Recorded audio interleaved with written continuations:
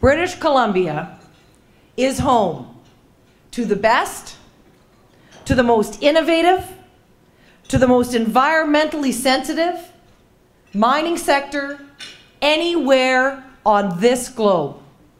You are, although never taking risks when it comes to safety, never taking risks when it comes to holding up your end of the environmental bargain.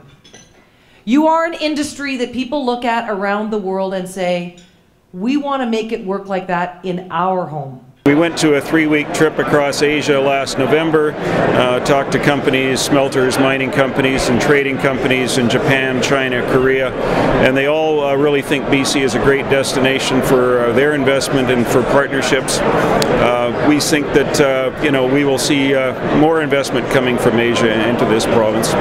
We committed to reduce the backlog of applications for notices of, notices of work in the mining sector by 80% within 12 months.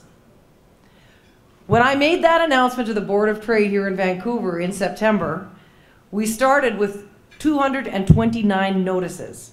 Today, four months later, we have cut those 229 notices down to just 85. There's definitely a lot of uh, benefits going into communities, and uh, that those dollars are spent because most exploration is outside of uh, outside of the lower valley. So a lot of those benefits go into the local communities. In our preliminary economic assessment, which we completed last spring, uh, we looked at uh, at the uh, say a three dollar copper price over the 22-year mine life. We'd be spending about a billion dollars in taxes. That's just direct taxes from the mine to the the two levels of government. It doesn't include payroll taxes businesses. It doesn't include all the spin-off businesses and support businesses in the in the region of the mine. And typically, for every job created at a mine, there's three jobs created in the surrounding area. And we are just getting started. When I became premier, the number one thing that the mining sector said to me, and in fact, the number one thing that my own caucus said to me was, Christy, we have to get rid of the backlogs in government.